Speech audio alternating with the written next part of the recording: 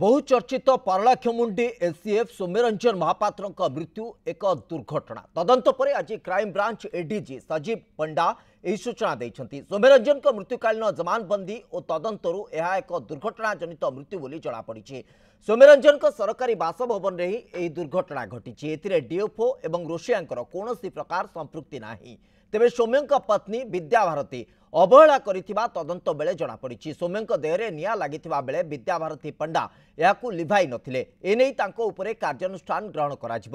crime branch ADG Sanjeev Panda কৈছন্তি যে তদন্ত এবং সোমरेन्द्रঞ্জন মহাপাত্রৰক মৃত্যুকালীন জৱানবন্দী অনুসায়ী এই ঘটণাত ডিএফ-ৰ কোনোৱে প্ৰকাৰ ভূমিকা নাই। তাঁৰক বিৰোধৰে কিচিবি প্ৰমাণ মিলিনী। সেইপৰী ৰোসেয়া মনমত কুম্ভকৰোৱে কোনোৱে ভূমিকা নাই। সোমरेन्द्रঞ্জনক সৈতে বিদ্যাবাৰতী পান্ডাৰ বৈবাহিক সম্পৰ্ক ভাল নথিলা একথা তদন্ত এবং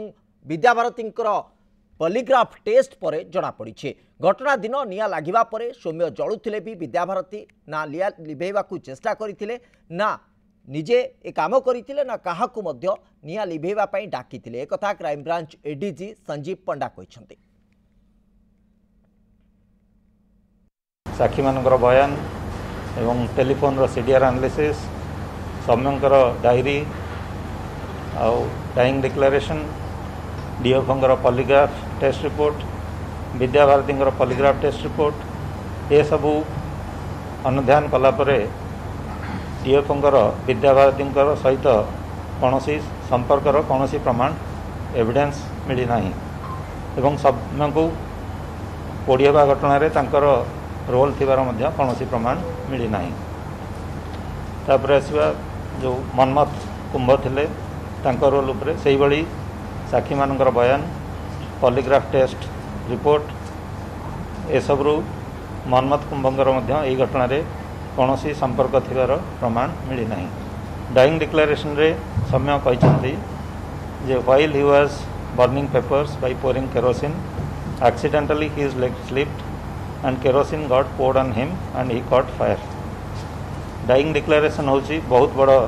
एविडेन्स एवं तार एविडेन्सरी भैल्यू ବହୁତ ଅଧିକ ସେ କହିଛି ଯେ ଭାରତୀ ମୁଁ ପାଣି ଢାଳିଛି ମୋତେ ସେ ଡାକ୍ତରଖାନାରେ ନିଜେ କହିଛି ଯେ ଚାରି ବାଲ୍ଟି ସେ ପାଣି ଢାଳିଛି